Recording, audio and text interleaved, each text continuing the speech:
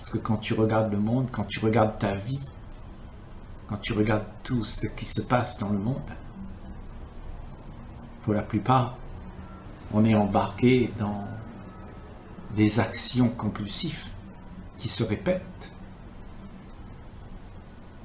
C'est dans les mœurs, c'est la répétition.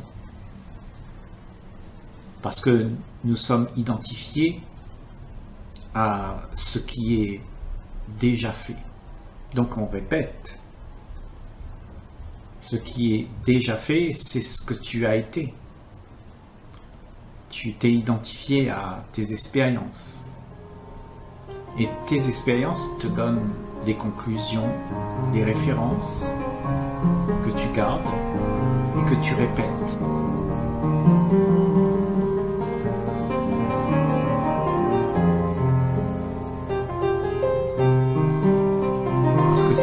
Qui est programmé pour continuer comme d'habitude. Ce sont toutes nos pensées qui ont été acquises, les conclusions, tout ce que nous avons expérimenté. On se les rappelle et on les répète. Donc, si nos vies sont comme ça, c'est une machine en fait qui est lancée, inconsciente et qui est compulsif. Alors, qui sommes-nous? Qui es-tu? Alors, ce que tu es n'est pas cela, n'est pas cette machine. Parce que ce que tu es est justement la présence qui voit cette vie se dérouler. Et cette vie, elle se déroule sous tes yeux si tu es attentif. Si tu prends conscience que ce que tu es là est une machine, alors tu as la faculté d'observer qui tu es. Ce à quoi tu t'es identifié en fait. Qui tu es, ce sont les pensées qui surgissent là. Tout ce mécanisme qui est ta tout ce mouvement, les peurs, les angoisses, les gaietés, les plaisirs, les déplaisirs, les déboires, les peurs, tout ça c'est un mouvement psychologique qui est là. Et ça, c'est un mouvement qui se perpétue dans le temps parce que c'est une machine qui parcourt le temps.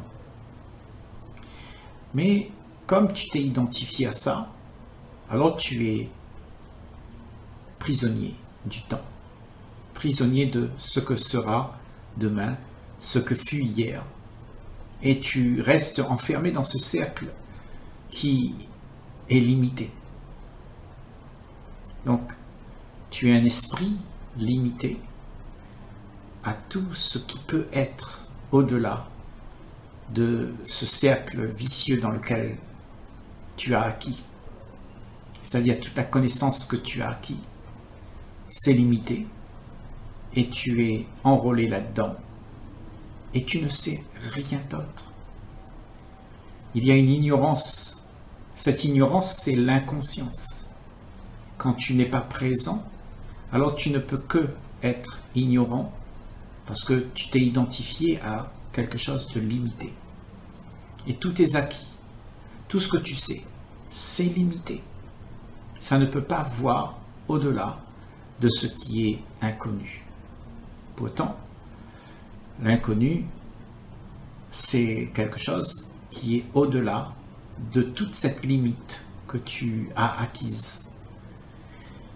Cette limite acquise, tout ce que tu sais, tout ce que tu penses, tout ce que tu connais, tout ce que tu as mémorisé, les mémoires que tu as de toute la vie que tu as vécue, que ce soit des mémoires de ton vécu passé ou des mémoires d'un vécu plus loin, parce que tu as hérité de cette mémoire à travers tout ce que nos aïeux ont vécu. Donc nous sommes en fait le résultat de toute la race humaine avant nous, qui avons décrété, qui avons conclu Et tout ça, c'est la psyché dans laquelle tu es emprisonné. Tu es limité. Tout ça, c'est ce que tu es. C'est un programme déjà installé qui a été dicté par des propagandes de décennies et des décennies de comment devraient être les choses. Donc ça a été mémorisé, mémorisé, appris et puis répété de génération en génération. Ce que tu es est la répétition du passé. Tu es le passé. C'est pas brillant tout ça. Parce que quand tu t'aperçois que tu n'es pas ce que tu penses, parce que ce que tu penses, c'est autre chose. Ce que tu penses être, c'est autre chose. Penses, mais ce que tu es n'est pas ce que tu penses. Tu peux penser que tu es un être merveilleux, un être d'amour, un être euh, de liberté, mais tout ça, c'est penser. C'est quelque chose que tu désires. Et voilà le problème. Donc tu vois nos vies de tous les jours. Il n'y a rien qui est émerveillant. Ça se répète. Et nous sommes enrôlés là-dedans. L'esprit est blasé. Nous faisons des choses parce que ça doit être fait. Et nous cherchons dans ces choses-là un peu de gaieté. Mais en fait, tout ça, c'est mort. Il n'y a rien qui existe là. Ce n'est que des répétitions de choses qui ont été faites, avec lesquelles on interagit. C'est-à-dire, ce que tu es, c'est la pensée dans laquelle tu penses avec le penseur, et toutes les autres pensées que tu as interagissent avec cette pensée que tu es. Donc, tu interagis avec tout ce que tu as acquis.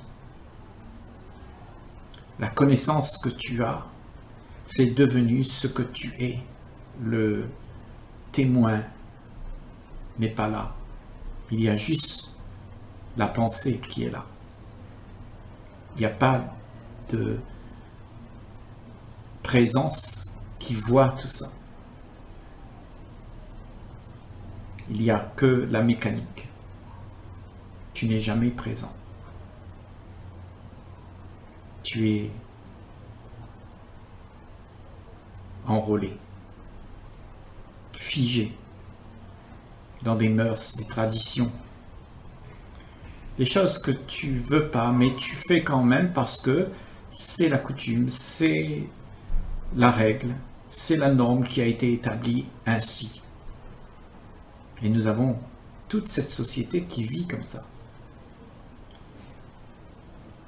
C'est devenu un truc mécanique qui se répète et qu'on ne sait pas comment faire pour arrêter. Parce que au bout d'un moment, l'esprit blasé souffre souffre de ne pas être libre. Parce qu'il est limité. Parce que tu vois, si tu veux aller dans l'inconnu, si tu veux aller dans l'inconnu, eh bien tu es limité. Parce que ce que tu connais, c'est ce à quoi tu t'identifies. Et pour toi, il n'y a rien d'autre que ça. Donc tu ne sais que être ce que tu penses. Tout ça, ce sont des mémoires qui ont été installées depuis des décennies.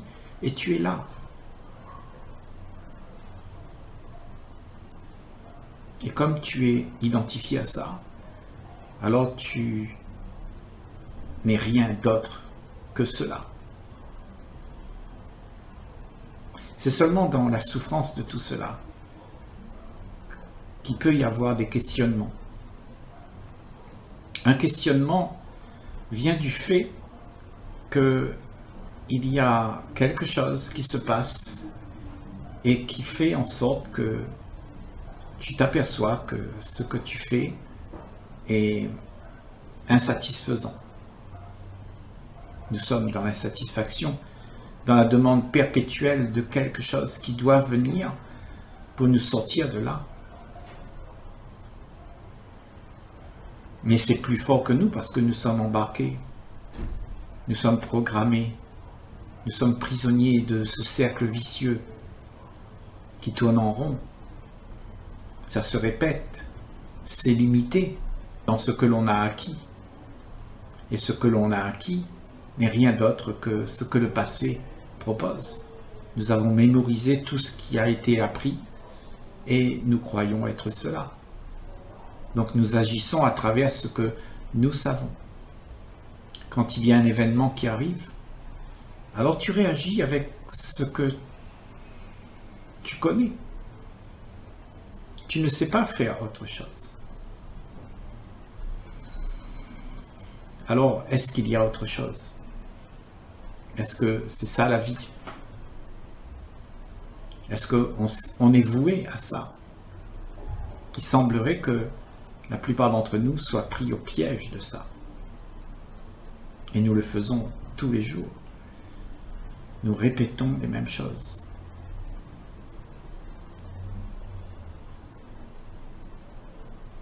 C'est seulement si tu te poses des questions. Parce que celui qui est prisonnier de ça, il va vouloir. Parce que celui qui est prisonnier, au fond, eh ben, il a oublié qui il était. Quand tu t'es tu es entré dans tout cela, tu es confondu à tout cela et tu oublies. Toutes les pensées que tu as t'enferment à croire qu'il n'y a que ça. Donc tu passes toute ta vie à te débattre pour trouver un peu de joie, un peu de gaieté.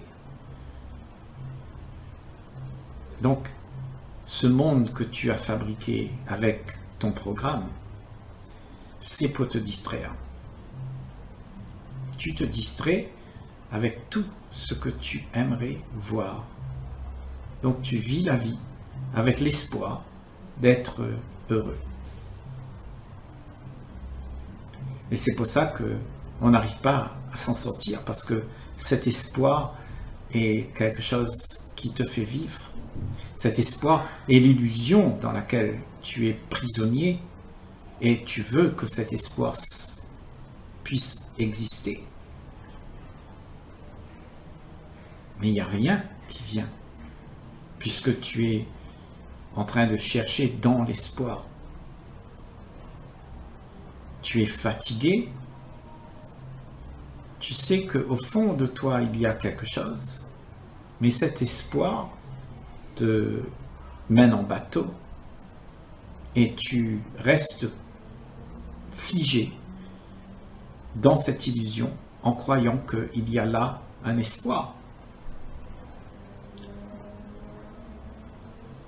Donc, tous les jours de ta vie, tu espères. Pour toi, demain, là, c'est devenu très important.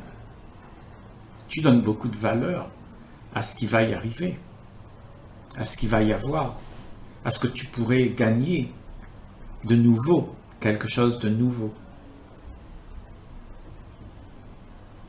Donc, ta tête prend dans le vieux, tu vas chercher des choses que tu as vécues, tu les ramènes dans le présent, et ton désir, c'est-à-dire ton illusion, te fait croire que c'est neuf. Donc tu le poursuis. Mais il n'y a rien. Ce que tu poursuis, c'est du vent. Ça n'existe pas. Mais ce que tu es, si tu apprends à réfléchir, à méditer sur tout ce qui se joue, parce que tu n'acceptes plus d'être dans ce carcan, Parce que tu as commencé à lever les yeux et tu vois que tout le monde vit dans une machine. On se répète tous les mêmes choses. On court pour attraper ce qu'on espère. On espère qu'il nous rendra heureux. Parce que nous sommes dans un schéma qui se répète. Nous avons une connaissance acquise qui est limitée. Et avec cette connaissance acquise, tu ne peux pas aller très loin, tu ne peux pas dépasser la bordure entre l'inconnu et le connu. Donc tout ce que tu connais devient très important, tu t'accroches à ça et tu renies l'inconnu. Tu renies qu'il y a quelque chose au-delà de tes conclusions. Ta conclusion, elle a défini la petitesse dans laquelle tu vis, c'est-à-dire tout ton cercle vicieux dans lequel tu es, tu as défini cela par des conclusions. Tu dis ça, c'est comme ça, j'aime ça, j'aime pas ça, je veux, je veux pas. Et toujours, tu attends que demain sera quelque chose qui pourra te libérer. Donc, on, prend dans notre passé des choses qu'on aimerait faire exister, mais en fait, ça ne peut pas exister puisque c'est mort. Il n'y a pas ça. Au-delà du connu dans lequel tu es prisonnier, il y a autre chose. Il y a ce que tu ne connais pas. Et seul l'esprit libre peut aller là. Libre. Libre de tout ce que tu connais tout ce que tu as acquis, toutes les conclusions, toutes les croyances, toutes les histoires que tu as, tu es libre. Parce que tu n'es pas ça. Tu ne t'identifies plus à ça. Ça veut dire que tu es libre de ça. Alors il y a une autre dimension qui se profile à ce moment-là. Et cette dimension, elle est à explorer. Et cette dimension, elle n'a pas de commencement, elle n'a pas de fin. Mais ce que tu connais a un commencement et une fin, bien sûr. Et tu ne veux pas aller au-delà de ce que tu connais parce que ça te ça t'angoisse de découvrir ce qui est au-delà de tout ce qui te rassure. Tu te rassures tout le temps avec ce que tu connais. Et quand il y a quelque chose qui n'est pas ce que tu connais, alors c'est la panique. Parce que tu n'es pas habitué avec ça. Tu entres là dans un monde où tu n'as pas de repère. C'est pour ça qu'on ne veut pas y aller. C'est pour ça que tous nos peurs nous en empêchent. Nous voulons rester là où il y a de la sécurité. Et cette sécurité, c'est quoi d'après toi? Je voudrais te parler très sincèrement. Maintenant, c'est quoi toute cette sécurité que tu as besoin? Tout ce que tu cherches dans ta vie pour pouvoir faire en sorte que ce que tu as gagné te rassure. Nous vivons dans un monde où tout est acquis et ce que l'on a acquis nous rassure parce que on sait ce que c'est. Et on s'attache à ça. C'est-à-dire on s'attache à toute la connaissance qu'on a. On a récolté dans nos sociétés, dans nos vies, dans nos expériences, à travers ce que nos aïeux nous ont donné, de la connaissance, un héritage qui en fait partie de toi, de moi, de nous. Et nous réagissons aux événements avec cet héritage. Donc, c'est une mémoire qui va réagir avec tout ce qui se joue autour de nous. Et ça, c'est une répétition. Ça se répète tout le temps. Ça a la même couleur. Ça peut te sembler être différent. Parce que tu ramènes toujours dans le présent un espoir. Et l'espoir te donne de l'imagination pour que ce soit comme tu aimerais. Et ce que tu aimerais est fabriqué. Est fabriqué par ce que tu désires. Donc tu veux encore de ça. Et tu crois que c'est neuf, c'est nouveau.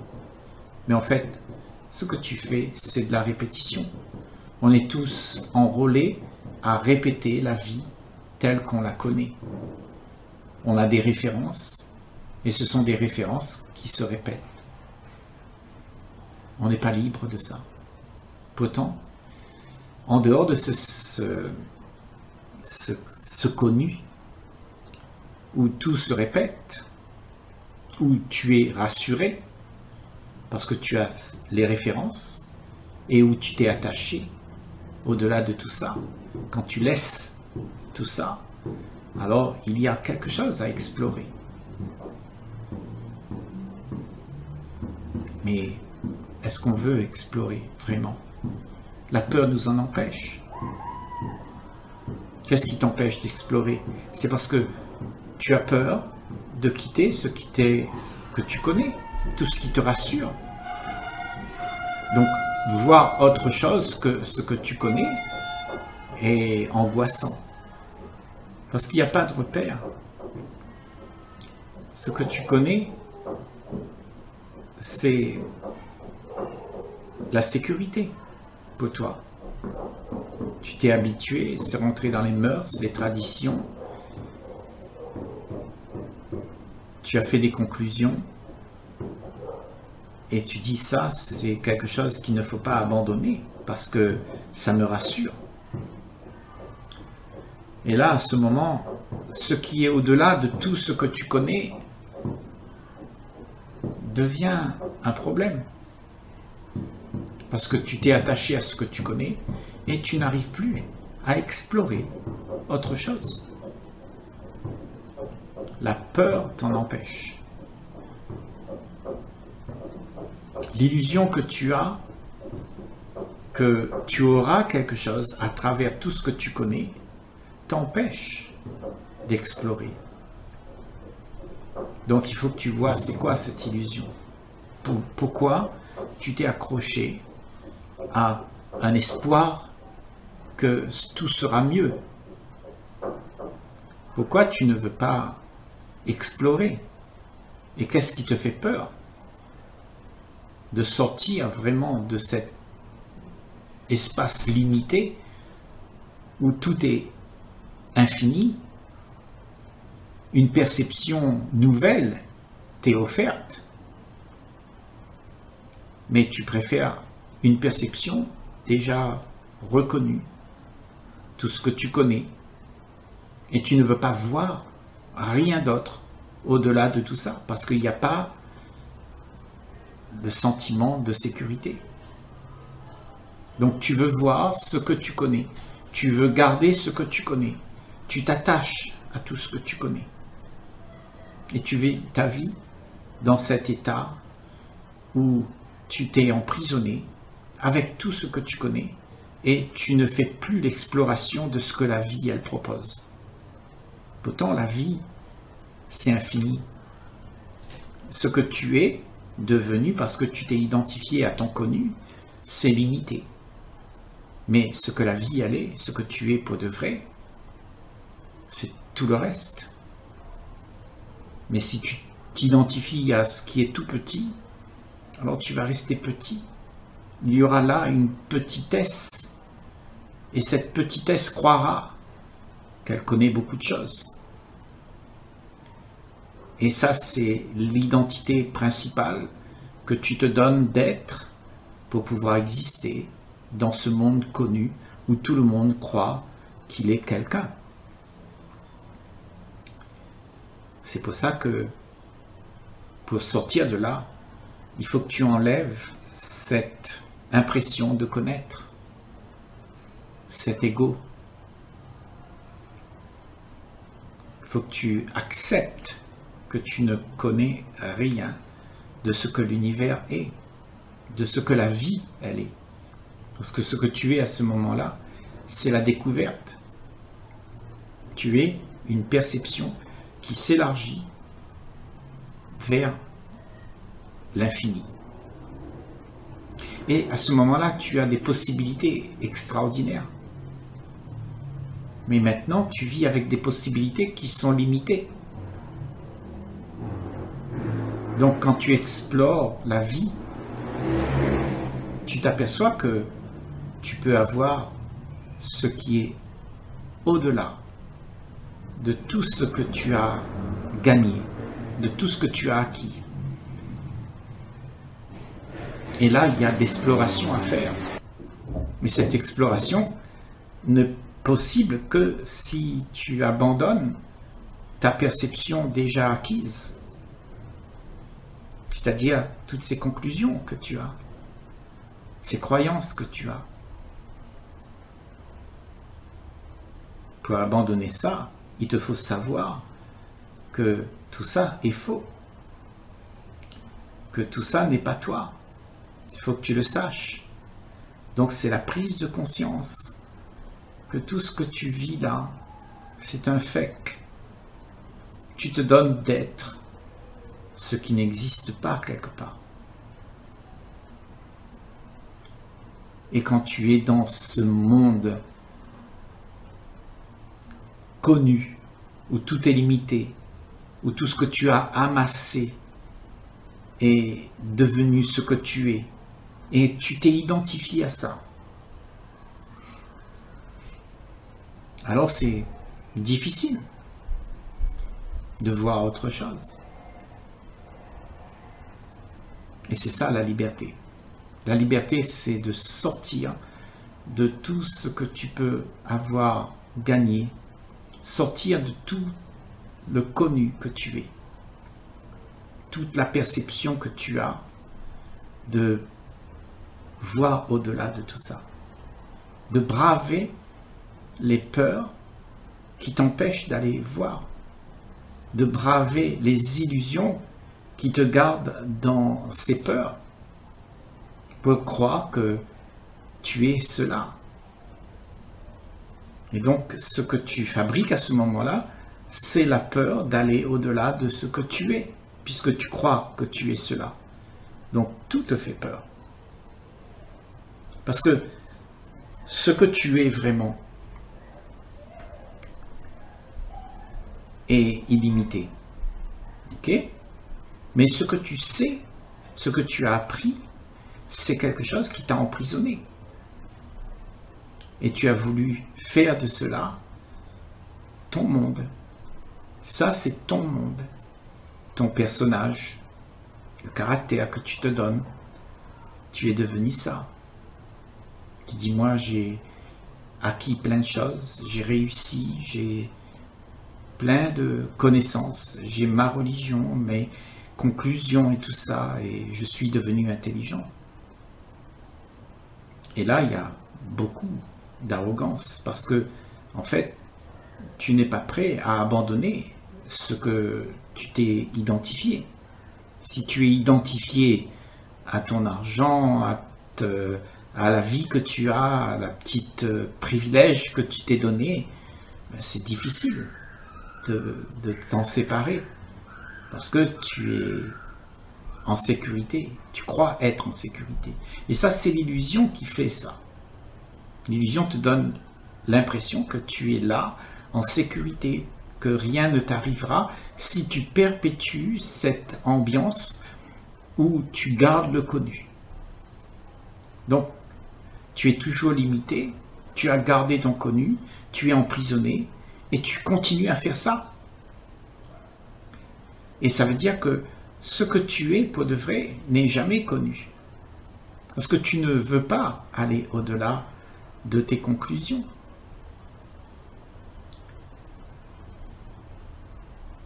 Parce que il y a quelque chose en nous qui nous dit que ce que l'on sait est toujours euh, remis en cause. Toutes tes conclusions seront remises en cause, tôt ou tard. Parce que tu vas souffrir de vouloir garder quelque chose qui n'est pas vrai, c'est-à-dire qui vient du passé et qui ne peut plus être maintenant une réalité. Parce que la perception nouvelle, elle te donne toujours des nouvelles conclusions. Avant, on croyait que la Terre était plate. Mais il a fallu abandonner tout ça pour que l'expérience de ta perception, comment tu vois le monde, puisse être élargie. Et tu vois, ta vie, c'est comme ça. Ce que tu es, c'est ce que tu crois maintenant être. Et tu t'es fait des conclusions. Donc tu ne veux pas abandonner ça. Et là, il s'agit d'abandonner pour pouvoir explorer ce qu'il y a. Ça veut dire que quand tu vas dans cette vie, quand tu vis l'existence, il n'y a rien à gagner, il n'y a rien à garder, parce que tout ce que tu vas garder va euh, t'empêcher de, de voir au-delà de ce que tu as appris. Et tout devient une habitude, des trains-trains. Et tu sécures tout ça parce que tu as peur d'être dérangé dans cette petite zone de confort que tu t'es fabriquée. Et là, quand tu fais ça, ben, tu as beaucoup de problèmes parce que tu résistes à ce qui est au-delà de ce que tu connais. Tu ne veux pas t'ouvrir. Tu es individualisé dans ton petit monde. Et pour toi, t'ouvrir, ça devient dangereux. Être euh, au-delà de tes conclusions, ça devient dangereux. Parce que tout le monde te dira que ce que tu fais, c'est pas acceptable. Parce qu'au-delà de tout ce que tu sais, il y a l'inconnu. Et cet inconnu, c'est quelque chose que tu vas explorer avec une nouvelle perception. Et cette nouvelle perception sera l'action que tu fais. Parce que tu perçois et puis tu fais avec ce que tu connais.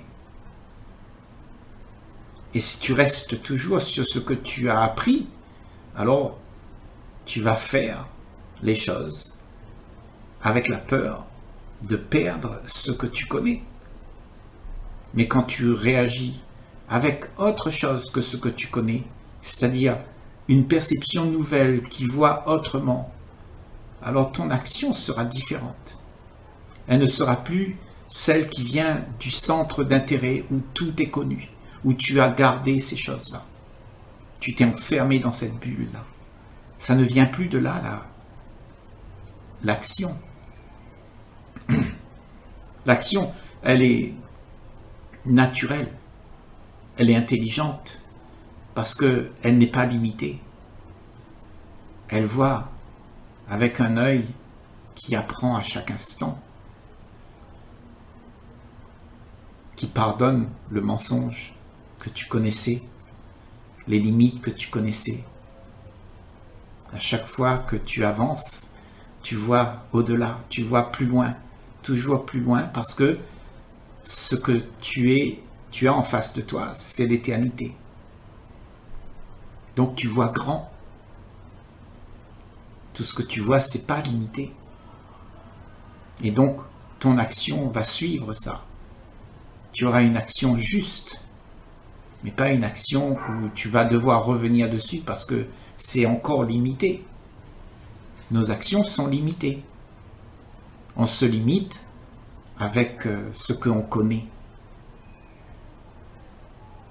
Mais si tu acceptes que ce que tu connais n'a rien à voir avec la réalité, ce sont des histoires que tu t'es enfermé dedans, que tu as appris et que tu as gardé. C'est devenu ton petit coin douillet, c'est ta petite vie que tu as fabriquée et tu la répètes. Quand tu acceptes de sortir de là, alors il y a autre chose. tu es capable de voir au-delà de tout ce que tu connais. Et tout ce que tu connais est répétitif. Mais tout ce que tu ne connais pas et que tu apprends à chaque instant, alors tu es émerveillé. La vie t'émerveille parce que c'est la vie. La vie, elle est infinie. La vie, elle n'est pas limitée. Et sortir de cet petit euh, esprit, la petitesse de soi qu'on appelle moi, avec tous mes problèmes, mes envies, mes, euh, mes désirs d'être heureux, d'être au-delà de tout ça. Tu as tous ces désirs parce que tu es emprisonné. Mais si tu n'es pas emprisonné, tu n'as pas besoin de désirer rien puisque ce que tu es, c'est une autre perception. Et la perception, elle voit au-delà. Donc il n'y a rien à désirer. Il suffit juste d'accepter que ce que tu es n'est pas cela, n'est pas limité. Accepter que tu peux aller au-delà de toutes tes conclusions. Arrêter de croire que tout ce que tu as acquis est une réalité. Être prêt à chaque instant à explorer, à redéfinir les choses, à remettre en question, tout temps te remettre en question. Ne pas croire que tout ce que tu as acquis là, c'est c'est toi, c'est défini comme ça. Il n'y a rien de défini. Il n'y a que l'éternité. Il n'y a que quelque chose qui est sans, sans but, ni commencement, ni fin.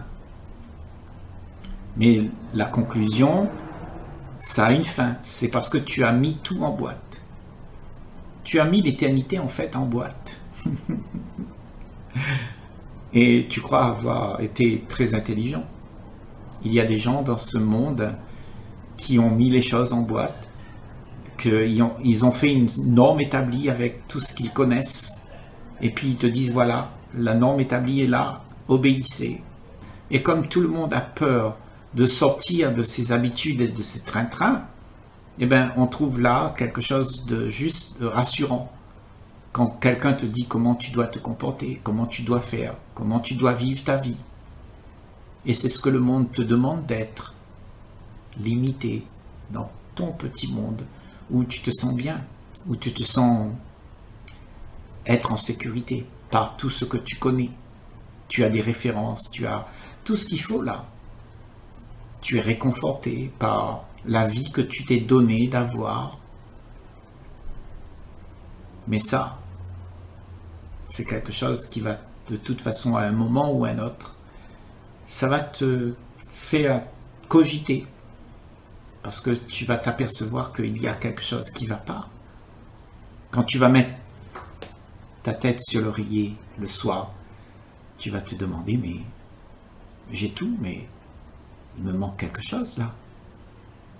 Tu sauras qu'il y a au-delà de tout ce que tu vis là, quelque chose d'autre. Ta tête, ton esprit, quand tu cogites, tout ça, ça va faire révéler ça. Tu il y aura des remises en cause, des remises en question, des prises de conscience. Et la vie, c'est ce qu'elle attise en toi. Parce que la vie frappe partout pour te réveiller de cette torpeur qu'il y a dans ce petit monde où tu t'es enfermé. Tu es dans la torpeur, tu es blasé là-dedans.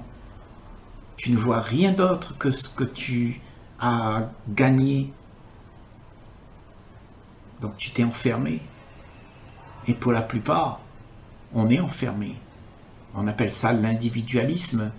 Chacun sa petite bulle, chacun regarde midi à sa porte. Et là, on n'est pas libre. Libéré de ce qu'on a acquis. Au-delà de tout ça, au-delà de cette limite, il y a ce qu'on appelle l'éternité.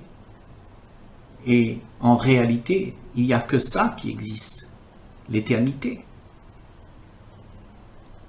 Ce que tu t'es donné d'être, ça n'existe pas. C'est quelque chose qui est fictif. Ce que tu t'es donné d'être pour être en sécurité, tu as inventé. C'est de l'imagination. Et tu poursuis ça. Parce que tout ça, toute cette activité-là, euh, te, te rend malheureux. Parce que tu perdures la souffrance de ne pas être libre. Et donc tu perdures aussi la peur. Tout est réactivé tout le temps. Donc tu as peur de sortir de ce qui te donne du réconfort. Tous tes petits péchés mignons, tout ton, euh, ton argent, tout ce que tu as gagné, tes privilèges, tout ça. Mais tu dis, moi, je me sens en sécurité avec tout ça. Mais tu vois, tout ça t'emprisonne. T'emprisonne l'esprit parce que ton esprit ne peut pas voir au-delà de ce qui est infini. Parce que tu t'es fait des conclusions. Tu as dit ça, c'est mon privilège. Et j'en veux encore. Et tu sais très bien que quand tu as acquis ça, mais tu n'en as jamais satisfait. Tu es toujours en train de l'élaborer, en train de la construire, en train de faire en sorte que ce soit périn. Parce que tout le temps, c'est en train d'être détruit. Ça ne peut pas durer parce que c'est faux, c'est pas vrai, c'est un mensonge. Mais ton illusion veut le construire, veut toujours le garder en vie. Donc tout ce que tu connais est quelque chose que tu as concocté pour faire exister ce que tu connais. Et ce que tu connais, euh, de toute façon, va t'échapper à un moment ou à un autre. Parce que la vie, c'est quelque chose au-delà de tout ce que tu connais, de tout ce que tu as pu acquérir, de tout ce à quoi tu as, tu t'es attaché.